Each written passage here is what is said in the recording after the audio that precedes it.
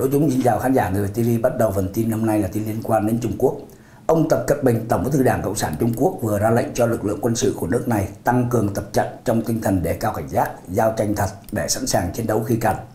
Tân Nói xã loan tin ngày 8 tháng 12 khi ông Tập Cận Bình đến thăm các đơn vị quân đội ở Quảng Châu, đang tập luyện hành quân phối hợp với tất cả các lực lượng khác, bao gồm cả không quân, bộ binh và hải quân.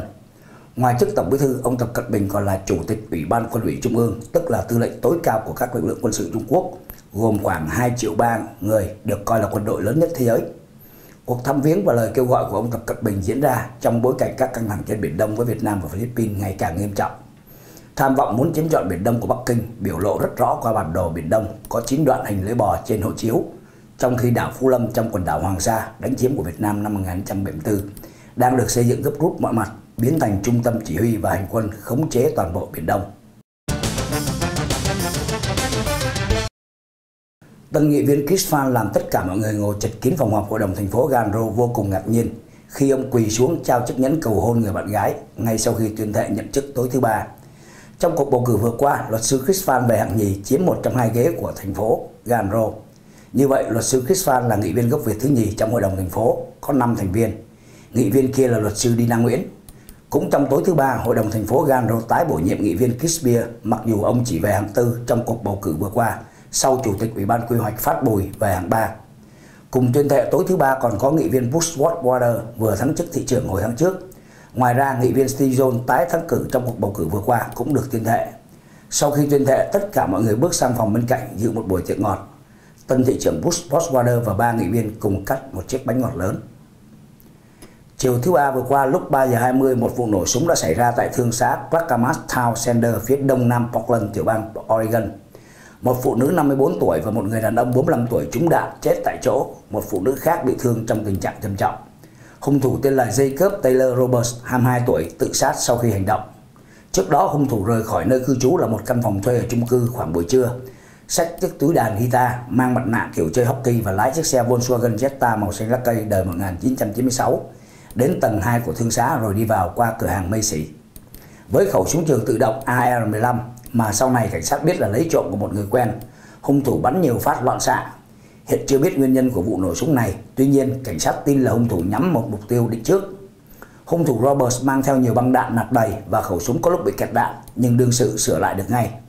Trong khi thương xá hỗn loạn vì mọi người hốt hoảng chạy trốn hay tìm chỗ ẩn nấp, hung thủ đi vào một hành lang sau đó, cảnh sát tìm thấy hung thủ nằm chết với một phát đạn vào đầu ở khu các hàng ăn. Bộ trưởng Ngoại giao Pháp hôm thứ Tư nói rằng người Do Thái và Palestine phải mau chóng tái lập hòa đàm, nếu không những phần tử cực đoan quá khích ở cả hai phía sẽ lợi dụng để hành động. Ngoại trưởng Laurent Fabius cho là Hoa Kỳ, Anh, Pháp có nghĩa vụ phải trực tiếp tham dự vào cuộc thương lượng vì không tự nhiên giải quyết được vấn đề. Ngoại trưởng Pháp bày tỏ ý kiến trên với các phóng viên khi đến tham dự hội nghị về Syria họp ở Morocco. Hòa đàm đã bế tắc từ hai năm qua do vấn đề định cư dân Do Thái trên các lãnh thổ chiếm đóng.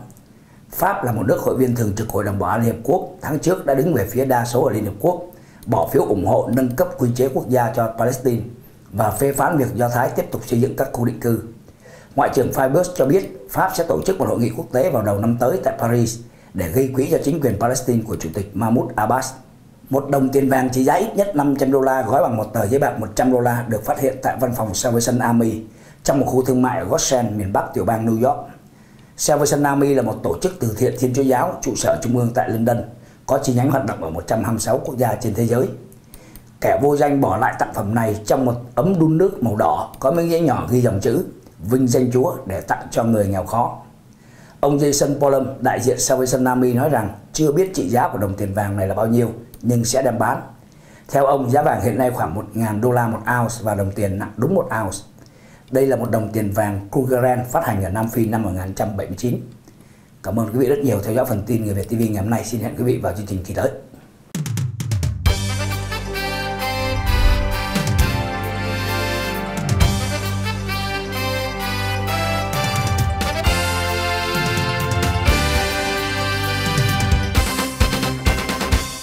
Nhật báo Người Việt cung cấp cho bạn tin tức về thế giới xung quanh.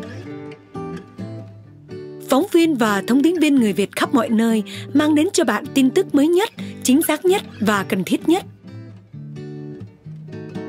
Tòa soạn Người Việt, nơi quy tụ đội ngũ phóng viên đông đảo, yêu nghề theo sát tin tức, thu gọn thế giới và trao đến độc giả mỗi buổi sáng. Nhật báo Người Việt và Người Việt Online là chiếc cầu nối giữa độc giả và giới doanh nghiệp. Số phát hành lớn nhất, quảng cáo hữu hiệu nhất, giao vặt phong phú nhất. Người Việt, nhu cầu tinh thần không thể thiếu. Mọi liên lạc xin gọi 714 892 9414 892 9414